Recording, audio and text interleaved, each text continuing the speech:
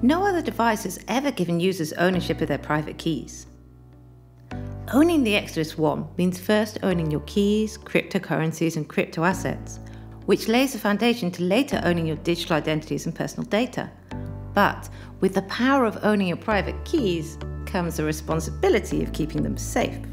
The problem is, what happens if you lose your phone?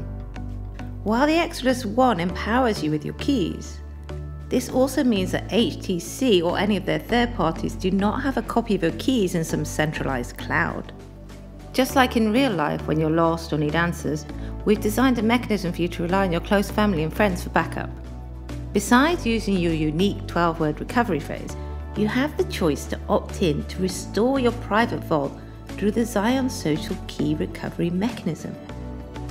Using a cryptographic form of secret sharing, we split your recovery phrase into five different parts. These parts are encrypted and given to your trusted family and friends. It's easy to set up. First, you send the Zion Social Keyholder invite to five of your chosen family and friends. Second, you confirm your trusted contacts with a code. That's all it takes to store a backup to your key.